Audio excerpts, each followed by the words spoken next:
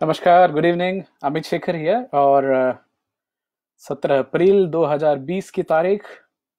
बड़ा ही डिफ़िकल्ट सा टॉपिक उठा लिया हमने बट ये आप में से कई लोगों की डिमांड थी कि हम इसके बारे में बातचीत करें।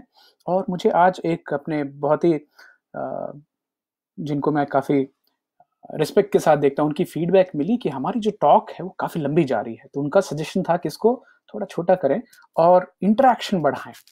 तो मैं उससे थोड़ा सहमत हूँ कि एज अ ट्रेनर आदत है हमारी कि एक बार बोलने लग गए तो बोलते बोलते चले जाते लंबा। तो अभी उसको थोड़ा कम करने की कोशिश करेंगे और जो बड़ी टॉपिक है उनको छोटे टॉपिक में तोड़ने की कोशिश करेंगे और थोड़े ज़्यादा सवाल जवाब करने की कोशिश करेंगे। तो आज का जो टॉपिक है ये, इसके पीछे थोड़ी हिस्ट्री समझने की ज़रूरत है। तो ये हमने दो चार सोर्सेज उठाए और आज की जो हमारी बातचीत है, उसमें सबसे पहला जो एक इंपॉर्टेंट सोर्स है वो है ICMR Indian council of medical research तो Indian council of medical research की जो लेटेस्ट गाइडलाइंस हैं डायबिटीज़ को ट्रीट करने के लिए उसमें से मैंने कुछ चीज़ें उठाई। ट्रीटमेंट के ऊपर हम बात नहीं करेंगे ठीक है? ट्रीटमेंट डॉक्टर्स का काम है और ये डॉक्टरी सलाह नहीं है। बट हम क्या करेंगे हम उन चीज़ों की बात करेंगे जो हमारे हाथ में है। जैसे हम आ, अपने दिमाग को कैसे रखते हैं? हम अपने खाने में क्या कर सकते हैं? अपनी लाइफस्टाइल में क्या कर सकते हैं? वो तो हमारे वश में है और हम as a family as a friend एक दूसरे को कुछ सलाह दे सकते हैं जो शायद हमने खुद पे कोशिश की और काम आया। तो आप में से इतने लोग हैं और इसमें शर्माने की बिल्कुल बात नहीं है। अगर आप डायबिटिक हैं, हाथ उठाएँ, बताएँ और आपके कुछ सवाल हैं, उनको पूछें जो शायद आपके दिमाग में चल रहे हैं और आप तक, अभी तक नहीं पूछ पाए। मैं अक्सर ये बात अपनी हर ट्रेनिंग में बोलता हूँ कि कोई सवाल बेवकूफ़ी वाला नहीं होता या छोटा सवाल नहीं होता। बेवकूफ़ी वाला सवाल वो होता है जो आपके दिमाग में रहता है, लेकिन आप नहीं पूछ पाते कि लोग क्या कहेंगे, लोग क्या सोचेंगे, वो सब सोचने की ज़रूरत नहीं है। तो अपना हाई बोलिए अपनी तरफ़ से, अपना जो सवाल है डायबिटीज़ रिलेटेड वो लिखिए। आपकी कुछ जो शंकाएँ हैं, कुछ जो दिमाग में चल रहा है, उसको शेयर कीजिए। मैं अपनी पूरी कोशिश उसको कोशिश करूँगा उसका आंसर देने की। तो Indian council of medical research के अनुसार एक डॉक्टर्स की पैनल ने रिसर्च करके गाइडलाइंस बनाई जो कि डॉक्टर्स फॉलो करते हैं तो उसमें जो डायबिटीज़ है, उसको एक सिंड्रोम बताया गया। सिंड्रोम क्या होता है? बहुत सारी बीमारियों का संग्रह होता है और इसकी मल्टीपल इटियोलॉजी है। इसकी एक कारण निर्धारित नहीं है, बहुत सारे कारण हैं इसके।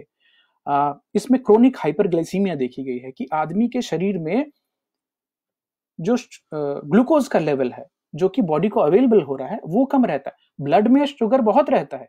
लेकिन शरीर को जो यूज़ करने के लिए जो शुगर मिल रहा है वो बहुत ही कम होता है। इसमें क्या क्या डिस्टर्ब होता है? कार्बोहाइड्रेट फैट और प्रोटीन की जो मेटाबॉलिज्म है वो डिस्टर्ब हो जाती है। और आ, कारण क्या है इसके? ये दो चीज़ों की वजह से होता है। या तो इंसुलिन सिक्रेशन में डिफेक्ट है पैनक्रिया जो है आपकी वो इंसुलिन कम बना रही है ज़रूरत से कम बना रही है या फिर इंसुलिन अपना काम नहीं कर रहा है ठीक है? या फिर दोनों भी हो सकते हैं। तो इसके लॉन्ग टर्म कॉम्प्लिकेशन क्या है? अगर मान लीजिए डायबिटीज़ है किसी को और वो ज़्यादा दिन तक चल गया और उसका इलाज ठीक से नहीं हो पा रहा है तो आँखों पे असर होता है which is which we call retinopathy kidneys पे नेफ्रोपैथी होता है नर्वस सिस्टम में पूरे बॉडी में जो झुंझुनाहट होती है और दूसरे न्यूरोजेनेटिव डिसीजेस होते हैं हार्ट में होता है और ब्लड वेसल्स में भी इसका असर देखा जाता है। अभी आईसीएमआर के हिसाब से इपिडियमोलॉजी क्या है? इंडिया में कैसे क्या चल रहा है? तो भारत जो है, ये दुनिया का दूसरे नंबर का टॉप डायबिटिक डेस्टिनेशन है। अब आप पूछेंगे नंबर वन कौन है? तो पॉपुलेशन के हिसाब से सोच लीजिए। तो चाइना जो है, वो नंबर वन है डायबिटिक पॉपुलेशन में। मैं आपको थोड़े कंट्रीज़ के नाम बताता हूँ। तो number one China number two India number three US Pakistan number five Brazil number six Mexico तो भारत और पाकिस्तान पास पास क्यों चल रहे हैं? हालाँकि दोनों की जो पॉपुलेशन है, उसमें बहुत फ़र्क है, लेकिन लाइफस्टाइल फैक्टर्स हम क्या खा रहे हैं, उससे भी बहुत हद तक डायबिटीज़ निर्धारित होती जो आज की बात में बड़ी इंटरेस्टिंगली निकल के आ रही है। तो 2017 में भारत में 8 करोड़ डायबिटीज़ के पेशेंट थे और 2017 थी तो वे बढ़ी गई होगी क्योंकि ये प्रेवलेंस बढ़ रही है इसकी और उम्मीद ये है कि 2045 तक जाते जाते ये संख्या 14 से 15 करोड़ पॉपुलेशन में पाई जाएगी। ह्यूज नंबर इसमें जो शहरी क्षेत्र हैं, जो अर्बन एरियाज़ हैं, वहाँ पे डायबिटीज़ 1970 में खाली दो प्रतिशत लोगों को थी। अभी वो बढ़ के 20 प्रतिशत हो गई है 2017 की डेटा है। गाँव के क्षेत्र में भी बढ़ रही है और मेरा एक में एक और आप लोग भी ये बताएँ कि क्या ये डायग्नोसिस कम होने की वजह से गाँव में या स्क्रीनिंग कम होती है इसलिए लोगों को पता नहीं चलता कि उन्हें हाई ब्लड शुगर है और जब तक आप डॉक्टर के पास नहीं जाएँगे ब्लड टेस्ट नहीं होगा तब तक शायद चलता रहता है। तो आगे बढ़ते हैं और इस बीच में हाय छवि भाई मैं चाहूँगा कि आप में से जो भी डायबिटिक हैं और उनके आपके कुछ सवाल हैं, कुछ तो आप उस सवाल को लिखें, कुछ शंकाएँ हैं वो बताएँ और अगर आप मुझे अच्छी तरह सुन पा रहे हैं तो भी बताएँ। अभी डायबिटीज़ दो टाइप के होते हैं टाइप वन और टाइप टू तो टाइप वन जो होता है, वो ऑटो इम्यून कारणों से होता है। ऑटो इम्यून मतलब कि आपके शरीर ने खुद से ही अपने पैनक्रियाटिक सेल्स को डिस्ट्रॉय कर दिया, जो कि इंसुलिन बनाते थे। अभी इसमें डॉक्टर माइकल ग्रेगर साहब हैं, जो न्यूट्रिशन फैक्ट्स डॉट ओआरजी चलाते हैं। उनका बोलना है कि उन पॉपुलेशन में जहाँ टाइप वन डायबिटीज़ ज़्यादा देखी गई है, उनमें डेयरी की कंजम्पशन बहुत ज़्यादा है। मैं रिपीट करता हूँ, जहाँ बच्चों को बचपन में बहुत ज़्यादा दूध, दही खिलाया गया है तो हो क्या रहा है कि जब भी आप बच्चों को दूध दे रहे हैं तो बच्चों के बॉडी में इंसुलिन जा रही है, कौन सी? बोवाइन इंसुलिन जो गाय की इंसुलिन है वो जा रही है जो भैंस की इंसुलिन है वो जा रही है। और वो कर रही है कंफ्यूजन पैदा हमारे इम्यून सिस्टम को कि एक तो ये तो बाहर का इंसुलिन है और उसमें क्या हो रहा है कि उसको अटैक करने में आ, साथ के साथ पैनक्रियाज पे भी अटैक होता है और हमारे खुद के बीटा सेल्स को डिस्ट्रॉय कर देता है। और ये बड़ी ही दुखद बात होती है कि एक बार टाइप वन डायबिटीज़ आ गई तो ये इरिवर्सिबल है। उस इंसान को जिसको टाइप वन डायबिटीज़ भगवान न करे किसी को हो अगर उनको होती उनको जीवन भर बाहर से इंसुलिन लेना पड़ेगा। टाइप टू हालाँकि लकीली ये जो टाइप वन है, केवल पाँच प्रतिशत लोगों में होती है, और ये चाइल्ड ऑनसेट डायबिटीज़ भी बोलते हैं, बच्चों में होती है। टाइप टू जो है, जिसको डायबिटीज़ मेल्टस बोलते हैं, ये नब्बे से पंचानवे प्रतिशत डायबिटीज़ के पेशेंट इसी के शिकार होते हैं। और एक है, जो तीसरी है, वो है जेस्टेशनल डायबिटीज़ तो कुछ माताओं बहनों को जब भी प्रेग्नेंट होते हैं, उसके दौरान डायबिटीज़ हालाँकि कोई हिस्ट्री नहीं रहेगी, फिर भी वो डायबिटीज़ आ जाती है। और भी एक दो अलग प्रकार हैं बट उतने ज़्यादा इंपॉर्टेंट नहीं है। अभी आईसीएमआर के हिसाब से तीन चार कारण उन्होंने बताए कि जो ये जो बढ़ क्यों रही है lifestyle changes one second urbanisation शहरीकरण होना। तीसरा डेमोग्राफी हमारी एक जेनेटिक प्रोफाइलिंग भी है। और चौथा है कि लोगों की उम्र बढ़ रही है। तो उम्र बढ़ने से भी बॉडी के कॉम्प्लिकेशंस बढ़ के निकल के आते हैं। हाय पुष्कर भाई, कैसे हैं आप? छवि भाई बोला am pre diabetic what should be the precautions हम बिल्कुल प्रिकॉशंस के ऊपर में आ रहे हैं छवि भाई, और कुछ हम और भी बहुत आसान आसान टिप्स की बात करेंगे हम। तो टाइप टू डायबिटीज़ जो है, जिसको हम टी टू डीएम भी बोलते हैं, ये एक मेटाबॉलिक और साथ के साथ वेस्कुलर सिंड्रोम है। ये आपकी जो खून की धमनियाँ होती है ना, उनको भी अफेक्ट करता है। ये होता क्यों है? इंसुलिन रेसिस्टेंस से होता है, और इसमें कुछ हद तक इंसुलिन की जो प्रोडक्शन है वो भी कम ज़्यादा देखी गई है। तो दो चीज़ें इंसुलिन रेसिस्टेंस होना और इंसुलिन का प्रोडक्शन ऊपर नीचे रेगुलेट होना। कल की बात से आप याद रखें इंसुलिन और ग्लूकोगॉन का जो डिफरेंस हम बात कर रहे थे, अगर आपकी बॉडी में कंटिन्यूसली इंसुलिन की मात्रा बढ़ी है तो धीरे धीरे बॉडी रेसिस्ट करने लगती है उसको और आप डायबिटिक प्री डायबिटिक फिर डायबिटिक हो जाते हैं। तो उसमें इंटरमीडियंट फास्टिंग का एक बहुत ही इंपॉर्टेंट रोल है कि आप अपनी बॉडी को विराम देते हैं तो इंसुलिन की लेवल्स कम होती है और ग्लूकागोन रिलीज़ होती है, जो कि बॉडी फैट को तोड़ती है। मैं आज एक और भ्रांति यहाँ पे तोड़ने वाला हूँ, बहुत बड़ी, कि डायबिटीज़ चीनी की वजह से होती है। हम बात करेंगे उसके बारे में आगे। और डायबिटीज़ जो है, ये एक प्रोग्रेसिव डिज़ीज़ है। इसमें बेसिकली दो चार चीज़ें देखी गई है जो कॉमन है। एक पहली है, जो सेंट्रल ओबिसिटी होती है तो पेट के पास ना एप्पल टाइप ओबेसिटी जो इंडिया में देखी जाती है और खासकर मर्दों में एप्पल टाइप होती है और औरतों में पियर टाइप बोलते हैं तो उनके कमर के नीचे वज़न ज़्यादा बढ़ना और मर्द में दुबले पतले भी होते हैं तो उनकी जो एप्पल की तरह से पेट हो जाती है। डिसलिपिडीमिया विच इज़ आपके लिपिड लेवल्स ऊपर नीचे हो जाएँगे cholesterol triglycerides H D L L D L issues जो होते हैं वो, और हाइपरटेंशन ये तीन चार चीज़ें मिली जुली देखी गई तो ओबेसिटी है सेंट्रल ओबेसिटी डिसलिपिडीमिया है, जो कि आपके कोलेस्ट्रॉल के लेवल्स ऊपर नीचे हो गए और साथ में तीसरी है हाइपरटेंशन तो ये तीनों मिल करके चांसेस होते हैं कि डायबिटीज़ होने के चांसेस बढ़ जाए। एक और चीज़ जो कॉमनली देखी गई है, ज़्यादातर डायबिटीज़ के मरीज़ ओवरवेट होते हैं या ओबीस होते हैं। ओवर मतलब जितनी आपकी निर्धारित वज़न है उससे ज़्यादा होना ओबीस मतलब आपकी बीएमआई जब भी तेईस के ऊपर चली गई तो आप ओबीस हो गए। तो हम उसके बारे में आगे बात करें रिकमेंडेड क्या क्या चीज़ें हैं और मैं आईसीएमआर की जो गाइडलाइंस है, मैं आपके साथ शेयर कर लूँगा, जो मैंने डाउनलोड करके रखी है।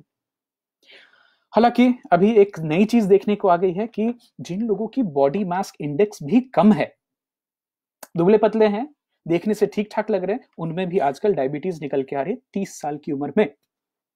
तो ये ओबेसिटी बाकी सब फंडे इसको, इसके पीछे एक दूसरा भी रीजन है जिसके बारे में आज बात करने वाले हैं कि क्यों डायबिटीज़ हो रही है उन लोगों में। तो एक चीज़ है जो जिसको बोलते हैं एशियन इंडियन फिनोटाइप जो हमारी जो प्रकृति है, जिस तरह के हम हैं तो खासकर एशियंस में और जो हम इंडियन जो ओरिजिन के लोग हैं, इसमें डायबिटीज़ की प्रोपेंसिटी ज़्यादा देखी गई है। हमारी भले ही बीएमआई कम हो, लेकिन जो फैट का रेशियो है as compared to a Caucasian जो अंग्रेज़ लोग होते, लंबे, तगड़े होते हैं, उनकी बॉडी में फैट कम होता है, भले वो हमसे ज़्यादा हेविली बिल्ट हो बट हमारी बॉडी में फैट ज़्यादा होता है। इसके पीछे एक थेरी है जिसको थ्रिफ्टी जीन थेरी बोलते हैं। तो इतिहास में भारत ने बहुत सारे अकाल देखे हैं। तो हमारी बॉडी ना, वो अकाल से इस तरह से प्रताड़ित है पीटीएसडी हो गया है कि वो जब भी एक्स्ट्रा कैलोरी मिलती है तो हम उसको संभालने में बड़े ही इफिशियंट हैं। तो ये थ्रिफ्टी जीन की बात है कि बाकी दूसरे जो रेस के लोग हैं, वो खाएँ तो उनकी बॉडी को उतनी मोटापा नहीं लगती जितनी हमें लगती है। और आगे हम एक और बात करेंगे कभी दूसरे दिन के टॉपिक में कि वात, पित्त और कफ जो इंडियन हमारी जो आयुर्वेद है, उसके हिसाब से बॉडी टाइप्स क्या होते हैं और मेटाबॉलिज्म कैसे इफ़ेक्ट होती है। बड़ी इंटरेस्टिंग साइंस है वो। हम बात करेंगे उसकी। हाय विकी तो हम फैट की बात कर रहे थे। अभी डायबिटीज़ पता कैसे करें? तो आईसीएमआर की जो स्क्रीनिंग है, वो बोलते हैं तीस साल से ऊपर अगर आपकी उम्र चली गई, अगर आपकी फैमिली हिस्ट्री है डायबिटीज़ की, अगर आपकी बीएमआई जो बॉडी मास इंडेक्स है, वो तेईस के ऊपर है ट्वेंटी थ्री के जी पर मीटर स्क्वायर तो आपको चेक करना चाहिए। अगर आपकी कमर 90 सेंटीमीटर से ज़्यादा अगर आप मर्द हैं तो और अगर औरत हैं तो 80 सेंटीमीटर से ज़्यादा है तो आपको टेस्ट कराते रहना चाहिए। हाइपरटेंशन अगर आपकी blood pressure 130 thirty by eighty M M H G के ऊपर है तो भी आपके रिस्क बढ़ती है। डिसलिपिडीमिया अगर आपकी कोलेस्ट्रॉल के ऊपर नीचे लेवल्स हैं तो भी आप रिस्क बढ़ जाती है। सेडेंट्री फ़िज़िकल आई मीन खाली बैठे रहते हैं, कुछ वॉकिंग नहीं होती एक्सरसाइज नहीं होती है तो आपके रिस्क फैक्टर बढ़ रहे हैं। अगर आपको जेस्टेशनल डायबिटीज़ हुई है, बचपन आई मीन बच्चे के पैदाइश के दौरान तो रिस्क बढ़ते हैं। प्लस जिन बच्चों का जन्म के समय साढ़े तीन किलो से ज़्यादा वज़न होता है, उनमें भी आगे चल के देखा गया कि डायबिटीज़ के चांसेस हो सकते हैं। कार्डियोवैस्कुलर डिस्क जिनको स्किमिक हार्ट डिसीज हुई है हार्ट अटैक आए हैं कभी या ब्रेन स्ट्रोक वगैरह हुए हैं तो ये सब इंडिकेशन हैं। उन लोगों में डायबिटीज़ होने की चांसेस हैं। अंडरलाइन चल रहा होगा। पीसीओएस पॉलिसिस्टिक ओवेरियन सिंड्रोम जिन लेडीज़ में है, उनमें आगे डायबिटीज़ होने के चांसेस ज़्यादा होते हैं। Thank you Saurabh thanks for encouragement अभी देखिए तो चार चीज़ें हैं जिससे हम डायबिटीज़ को चेक करते हैं और इसमें एक है फास्टिंग ब्लड शुगर जो हम चेक करते हैं। तो उसमें एक है नॉर्मल क्या है प्री डायबिटिक क्या है और डायबिटिक क्या है। हम उसके क्विकली बात करते हैं। तो अगर आपकी डब्ल्यूएचओ के हिसाब से अगर आपकी ब्लड शुगर 110 से नीचे है और एडी अमेरिकन डायबिटिक एसोसिएशन बोलती है 100 से नीचे है तो आप फिट हैं, ठीक है। अगर 100 से लेकर के 110 से 125 तक आप ब्लड शुगर आ रही है, आप प्री डायबिटिक हो गए और अगर 125 से ज़्यादा हो गई ब्लड शुगर तो मतलब आप तो पक्का डायबिटिक है।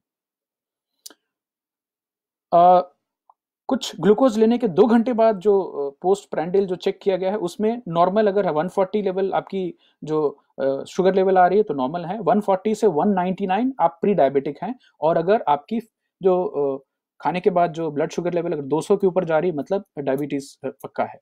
इन सब में से एक H B A one C जो आजकल ग्लाइसेटेड हीमोग्लोबिन होता है, जो कि एक पैटर्न देखता है कि तीस दिन में, साठ दिन में आपकी बॉडी में कितना एक्स्ट्रा शुगर रहा है। तो 5.1 5.7 परसेंट से नीचे अगर आपकी H one H B A one C है तो आप नॉर्मल हैं। 5.7 से 6.4 तक बोला गया है, वो प्री डायबिटिक है। और अगर आपने 6.5 इक्वल या उससे क्रॉस कर लिया तो वो डायबिटीज़ मानी जाती है H B A one C level और कभी भी अगर आपके रैंडम जो ब्लड शुगर आपने टेस्ट कराई और वो 200 के ऊपर आ रही है तो निश्चित तौर पे ये डायबिटीज़ के लक्षण है। अभी डायबिटीज़ लोगों को आ, कौन से कौन से सिम्टम्स क्या आ रहे हैं जो मुझे मालूम है आप सब लोगों को अक्सर मालूम होगा एक क्विक रिकैप करते हैं इसका। ऑस्मोटिक सिम्टम्स में आते हैं पॉलीयूरिया पॉलीडिप्सिया ज़्यादा पेशाब होना ज़्यादा प्यास लगना। दूसरा वेट लॉस होना हालाँकि आपको भूख हमेशा लगी रहेगी बहुत खा रहे हैं फिर भी आ, शरीर में लग रहा है वज़न कम हो रहा है। टायर्डनेस एंड वीकनेस थकान महसूस करना, कमज़ोरी महसूस करना रिकरेंट यूरोजेनाइटल इन्फेक्शन पेशाब में और पेशाब का जो रास्ता है, उसमें इन्फेक्शन बार बार होते रहना, ये भी देखा गया है। कोई घाव हो, कुछ कट फट जाए तो वो जल्दी हील ना होना, ये भी हाई शुगर के लक्षण है। हालाँकि सरप्राइजिंग बात यह है कि more than 50 percent of diabetic people have no symptoms तो ये सिम्टम जिनको दिख गया, वो सुधर सकते हैं बट बाकी लोगों में सिम्टम तो दिखते ही नहीं। ये हो गई बात आईसीएमआर की। और अभी हम जो बात करने वाले हैं, जिसमें मैं बहुत एक्साइटेड हूँ आपसे बात करने में, ये है बेसिस डॉक्टर माइकल ग्रेगर हैं। उनकी जो बातचीत है, किताबें हैं वीडियोज़ हैं, उनसे लिया हुआ है। और डॉक्टर माइकल ग्रेगर हैं कौन? मैं आज जरा आपको बताता हूँ। ये एक फिजिशियन है New York based New York Times के बेस्ट सेलर हैं। न्यूट्रिशन फ़ूड सेफ्टी और पब्लिक हेल्थ में ये काफ़ी काम कर चुके हैं। American college of lifestyle medicine के फाउंडिंग मेंबर हैं ये। ग्रेजुएट हैं कॉर्नेल यूनिवर्सिटी और टफ्ट यूनिवर्सिटी से। इन्होंने किताबें लिखी हैं how not to die how not to die cook book and how not to diet इनकी जो वेबसाइट है, www.nutritionfacts.org मैं रेकमेंड करूँगा, आप जाएँ, उसे चेक करें फैंटेस्टिक रिसोर्सेज और डॉक्टर साहब majorly mostly plant based food की बात करते हैं। मैं उनसे 99 परसेंट सहमत हूँ। अभी जो नई जानकारी आई है तो उसमें मुझे ये भी मालूम पड़ा कि कुछ हद तक जो एनिमल प्रोटीन्स हैं, वो भी इंसान के ओवरऑल खाने में रहने चाहिए। डॉक्टर साहब पूरी तरह से ना करने बोलते हैं। तो अभी हम बीच का लेक्चर हैं जिसमें आपको हम बताते हैं कि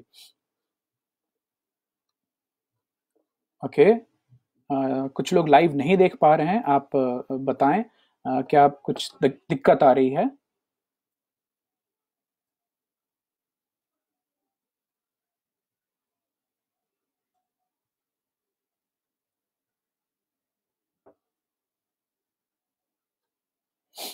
ऑलराइट तो हम बात कर रहे थे डॉक्टर ग्रेगर साहब की, और मैंने उनकी बहुत सारी तीनों की तीनों किताबें पढ़ी हुई हैं, बहुत सारे वीडियोस देखे हैं उनके, और उनसे जो प्रभावित होकर के जो लाइफस्टाइल चेंजेस किए वो काफ़ी हद तक मज़ेदार हैं और उसके असर भी आपको दिखते हैं काफ़ी।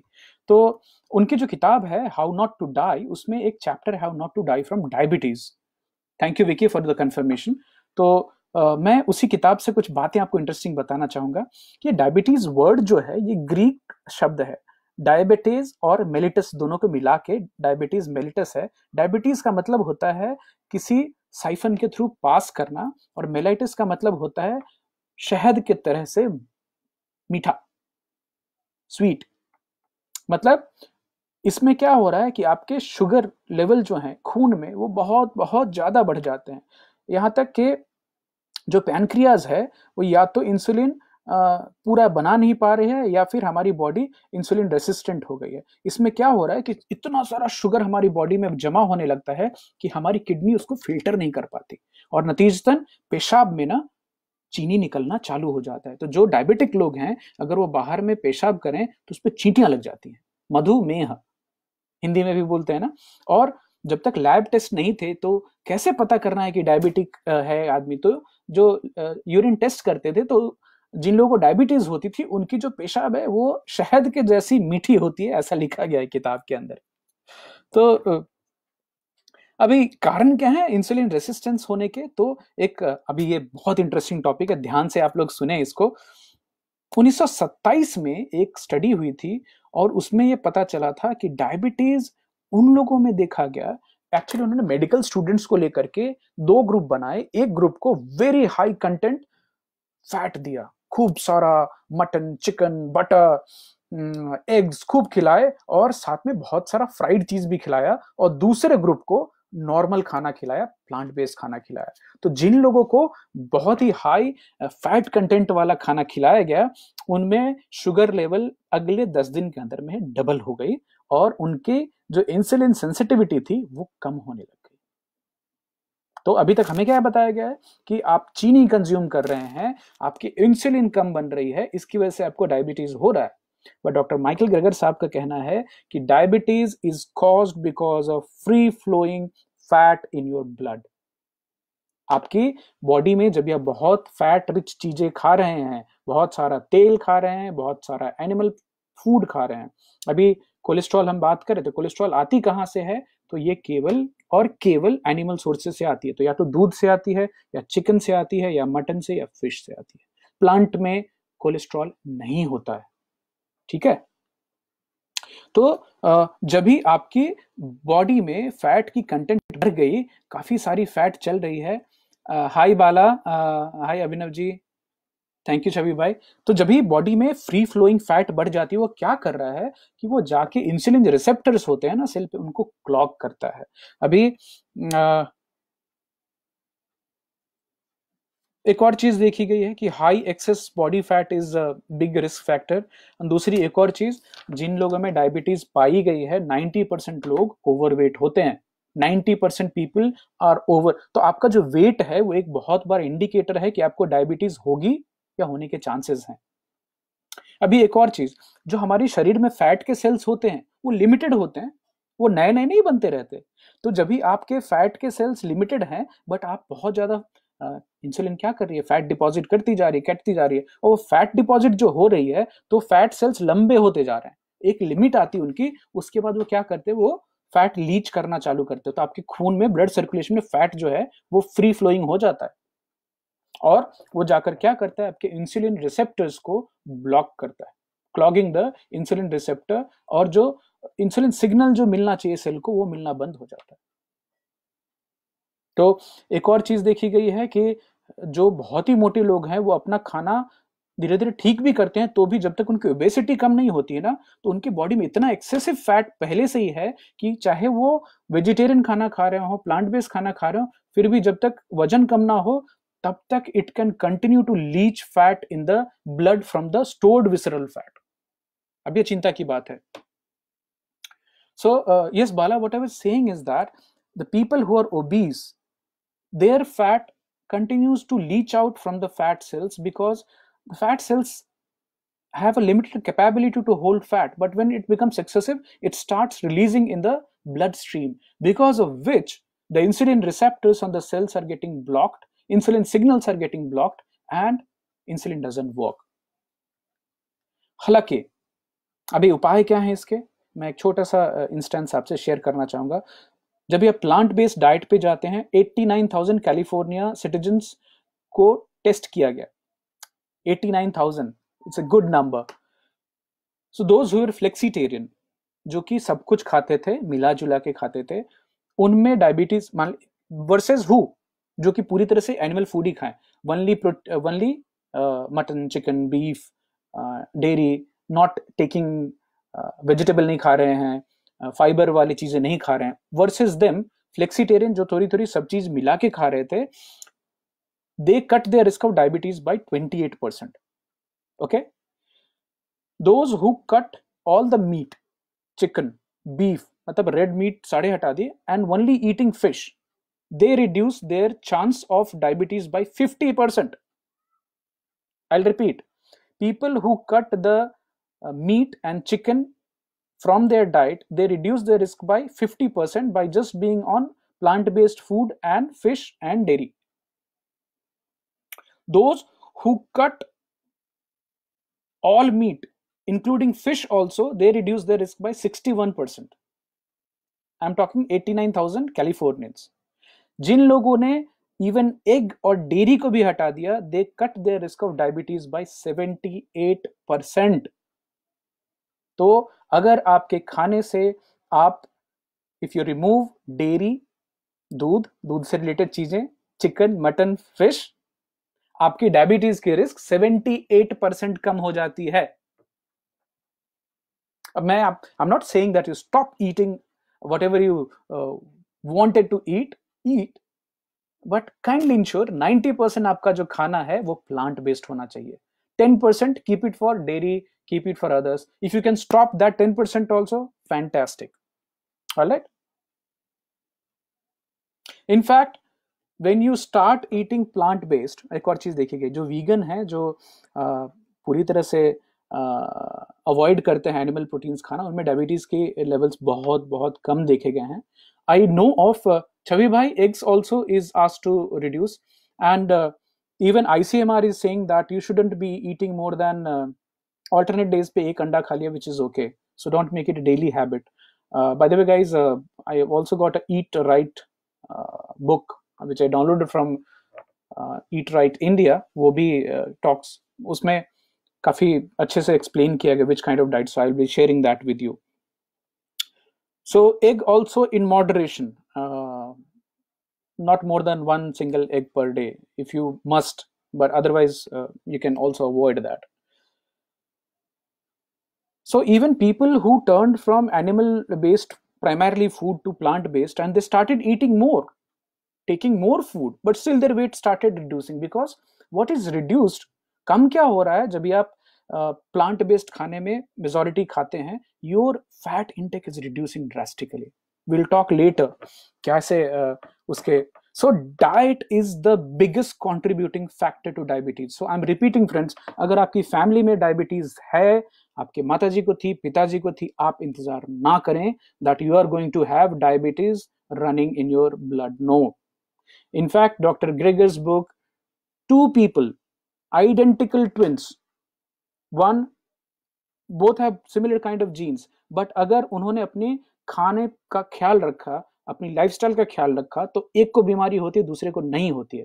Plus also don't forget the science of epigenetics after all these factors what matters from here is there I I met people I have met people जिनको uh, मेरे से भी छोटी उम्र के हैं और वो हमेशा से पहले से मान के हैं कि पैंतीस साल के हो गए तो डायबिटीज़ तो होनी है and I was like why किसने बताया आपको? बट वो सर्टन है बिलीफ है उनकी कि ना, पैंतीस हुआ तो हो गया। एक तीस साल क्रॉस कर लिया तो पेट तो निकलना चाहिए हाँ? और खाने में हर बार, एक तो आप हेवी खाना, बाहर में जो हम होटल्स में और बाकी जगह खाते हैं, इतनी क्रीम होती है उसमें, इतना फैट इतना बटर टेस्टी बनाने के लिए। बहुत सी चीज़ें मिलाई जाती हैं। वो खाने के बाद भी which itself has got lots of calories and fat and sugar उसके बाद भी डेजर्ट्स पे लोग चले ही जाते हैं। तो एक चीनी का भी कॉम्बिनेशन एक बहुत ही डेंजरस सा है। I think diabetes doesn't find in animals because they eat plant based food is it true sir very very true very very true और ये आपने मुझे सोचने पे मजबूर कर दिया है, दुर्गेश जी, कि देखना पड़ेगा मुझे कि ओबेसिटी और जो डायबिटीज़ है। चूहों में तो डायबिटीज़ हमने करा के देखी है। कि उनको अगर इफ़ यू चूहों का ग्रुप ले लें और उसको हाई फैट डाइट पे डाल दें, देखिए उसमें डायबिटीज़ आ जाती है, ठीक है? तो वो तो टेस्ट ऑलरेडी हो चुकी है। So there is another doctor by the name doctor Neil Barnard जो एमडी हैं, और उनकी साइट है physician committee for responsible medicine P C R M मैं चाहूँगा आप, मैं लिंक भी शेयर करूँगा, उनकी वेबसाइट पे जाएँ। तो डॉक्टर नील बर्नार्ड जो है उन्होंने तो किताब लिखी है रिवर्स डायबिटीज़ रिवर्स डायबिटीज़ उनकी डाइट प्लान में एंड वो 100 परसेंट प्लांट बेस्ड डाइट खाने की बात करते हैं you can reverse diabetes in fact let me tell you an story so I was having a meeting और उस मीटिंग में एक काफ़ी सीनियर एक कंपनी के जो हेड थे, वो आए हुए थे, और हमने उनको ऑफ़र किया। तो हमारे यहाँ ऑफ़िस में जो मीटिंग्स के दौरान जूसेस रखे थे, लस्सी थी, छाछ थी एंड मैंने उनको बोला तो हम तो ये छाछ मतलब the best drink possible ever lassi कमाल की चीज़ है, लस्सी तो हमेशा पी ही सकते हैं। तो मैंने उनको छाछ ऑफ़र किया तुमने नहीं फ्रूट जूस ऑफ़र किया। बोले, नहीं, खाली पानी पीऊँगा। मतलब क्या बात करते सर? सब हाइजीनिक है अच्छा है? जैसे नहीं नहीं आई एम मैंने ये सब छोड़ दिया, मैं डायबिटिक था, अभी मैं प्लांट बेस्ड हो गया हूँ। तो मतलब ये क्या होता है? उन्होंने बोला, मैंने सारे दूध कम कर दिया और डेयरी कम कर, दूध डेयरी मटन चिकन तो हम पहले खाते नहीं थे साउथ के थे, ब्राह्मीण थे। खाली ये चेंज करने से जो बंदा इंसुलिन पे था, वो इंसुलिन से बाहर आ गया और वो बता रहे थे कि वो ज़िंदगी में कटहल जो है jackfruit was his favourite fruit which doctors never allowed him to eat now he was eating jackfruit and having a normal lifestyle had reduced insulin and where was taking some little amount of metformin and he was maintaining a very good he said his energy level has never been good so if you go and check on Dr. Neil Bernard's website, you'll find so many success stories. और doctor Michael Greger की website पे भी तो जो भी diabetic लोग हैं मैं आपको बोलूँगा आप एक बार इसको ध्यान से देखें और अपने खाने में फैट प्रोटीन जो एनिमल प्रोटीन है उसको कम करने की कोशिश करें आपको इमीडिएटली फ़र्क दिखना चालू करेगा you can see a difference there is there any Indian doctor also who done any research on diabetes yes sir बहुत सारे डॉक्टर्स हैं। In fact I am so glad to tell you that so many doctors have started asking their patients who are obese and diabetic जो बहुत मोटे भी हैं और diabetic है, वो बोल रहे हैं कि तुम वीगन हो जाओ। तो मैं आपको वीगन होने की सलाह नहीं दूँगा प्लांट बेस्ड हो जाओ। आपके खाने में 80 90 परसेंट प्लांट बेस्ड आप लेके आएँगे, आप ऑटोमेटिकली डिपेंडेंस ऑन दवाइयाँ आपकी कम हो जाएँगी। ये और स्पेसिफिक नाम मैं मेहमान जी आपको अलग से बताऊँगा कौन से वो डॉक्टर्स हैं। जो ऐसे रिकमेंड कर रहे हैं। बाय द वे पीसीआरएम जो है physician committee for responsible medicine उसमें एक तो है पहला ईट प्लांट बेस्ड डाइट दूसरा लिमिट हाई फैट फ़ूड तीसरा recommendation eat low glycemic index food जो चीज़ें धीरे धीरे पचती हैं, जैसे मोटा अनाज है नट्स हैं सीड्स हैं, उसको लेने की बात की गई है। 40 gram of fiber per day ensure करना, वो ऑटोमेटिक आपके ब्लड शुगर रेगुलेशन में बहुत बहुत फाइबर मदद करती है।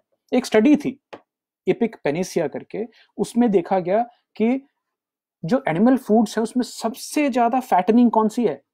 सबसे ज़्यादा फैट किस चीज़ को खाने से आता है? वो है चिकन अभी एग्ज़ाम्पल बताऊँगा, एक सौ साल पहले जो चिकन थी, उसका एक जो पोर्शन था, उस एक पोर्शन में 16 कैलोरी के बराबर फैट होता था। अभी that is equal to 200 calorie of fat one portion fat content in one serving has increase from 2 gram to 23 grams so chicken को सबसे ज़्यादा फैटनिंग चीज़ बोला गया है, सबसे ज़्यादा मोटा करती है चिकन अभी है कि जो भी लोग हैं, आप में से बहुत सारे हैं जो नॉर्मल हैं बट आपको डायबिटिक नहीं बनना है तो आपको खाने में क्या चीज़ें ज़्यादा खानी चाहिए? तो बहुत ही सिंपल रिकमेंडेशन है लेग्यूम्स दाल बीन्स होल ग्रेन जो भी दाल है हमारे, मूंग दाल, चना दाल उड़द दाल, जो दाल हमारे खाने में जितना लेके आए। एक और चीज़ देखी गई, जो दाल जो है, और खासकर चना दाल है, ये प्रीबायोटिक होते हैं तो अंदर जाके हमारी गट बैक्टीरिया को भी ये काफ़ी इम्प्रूव करते हैं। और गट बैक्टीरिया का डायबिटीज़ से भी कनेक्शन है।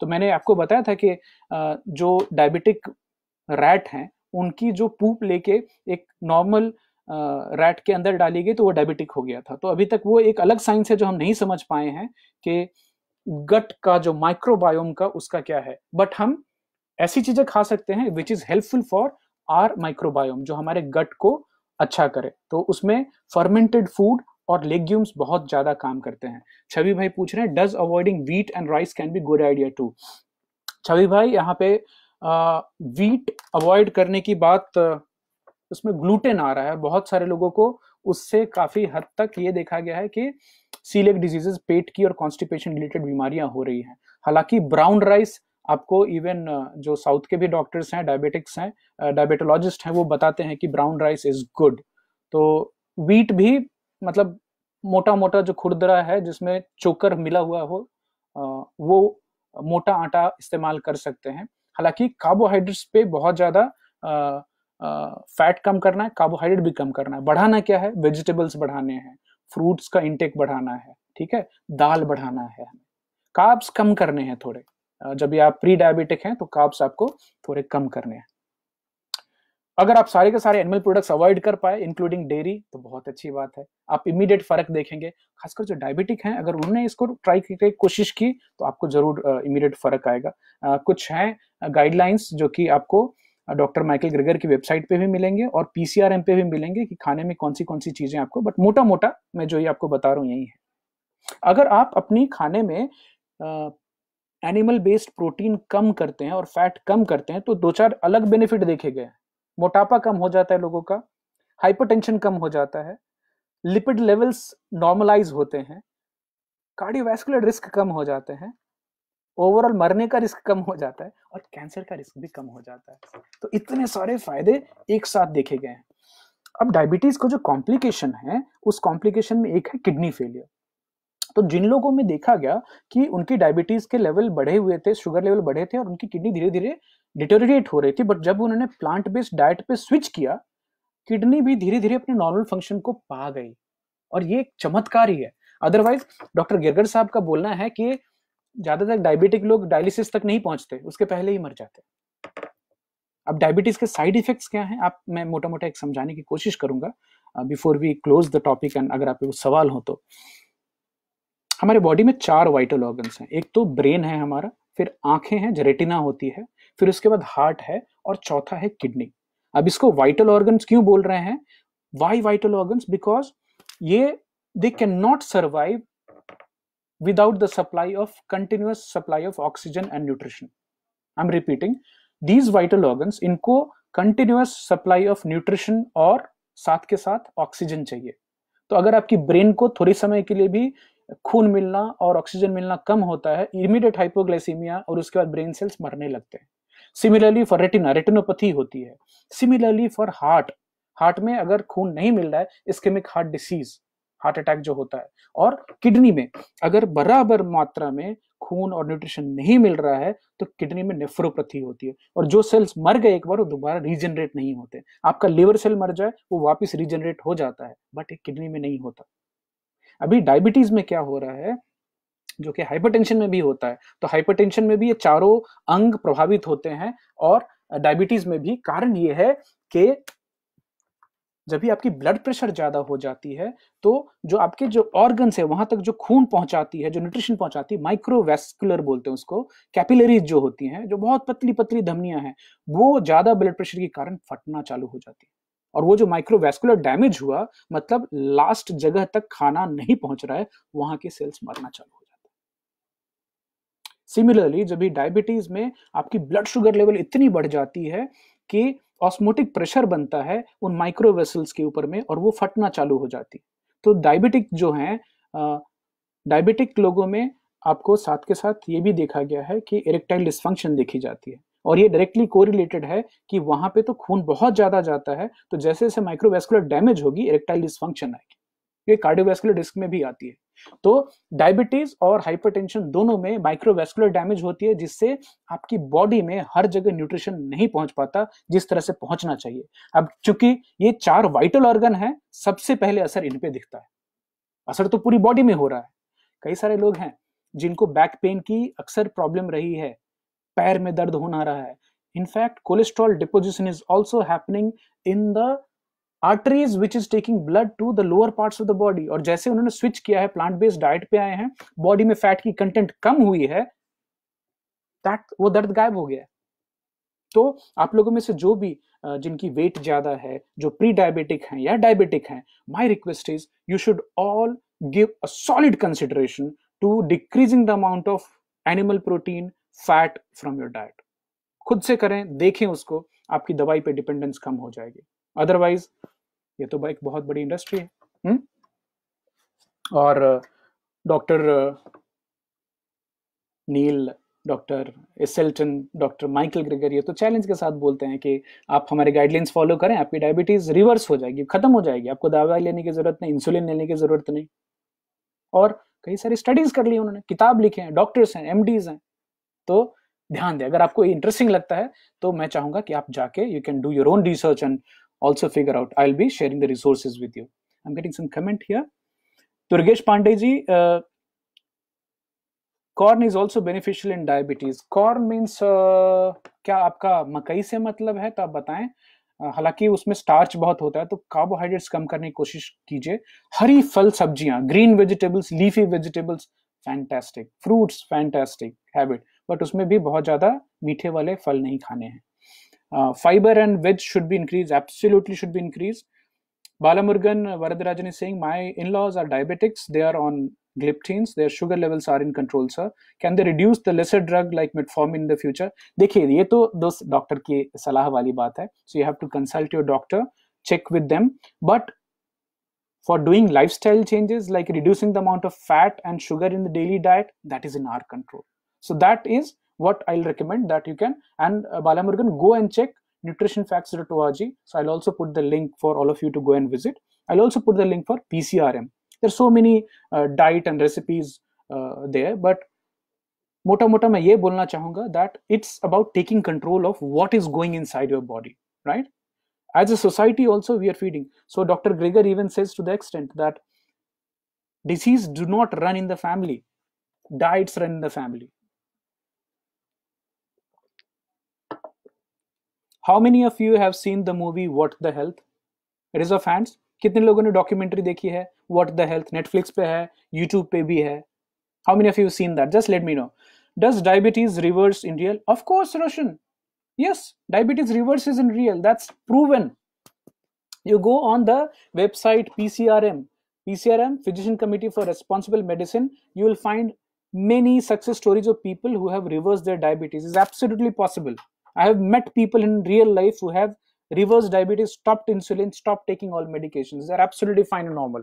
So it's a disbalance caused by high level of fat in your body. If you control that high level of fat, diabetes also comes in control and body slowly takes over, provided it's not type 1. If it's type 2, you can always do that.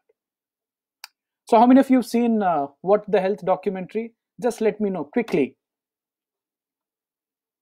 In the meantime, uh, let me thank our audience today. Chavi Bhai, thank you so much. Pushkar Bhai, thank you. Hope you'll enjoy the show today. Uh, Chavi Tyagi ji, I answered question. Hi Vicky, Saurabh, Durgesh Pandey ji. Hi Bala, thanks for joining. Abhinav Kumar ji, उम्मीद है आप देख पाए होंगे मैं आपसे link भी share करूँगा Archana Kushwaha ji hi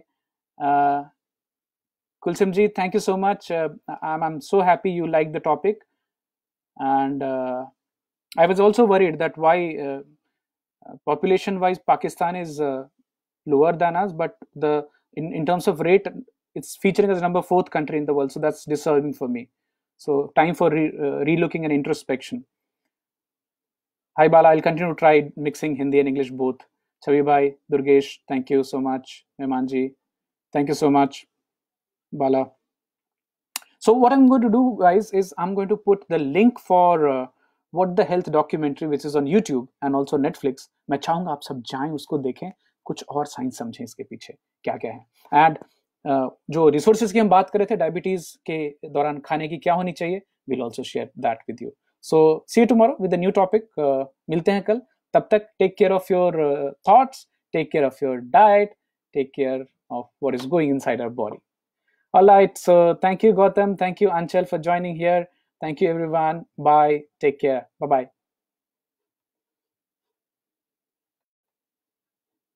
Bye, guys.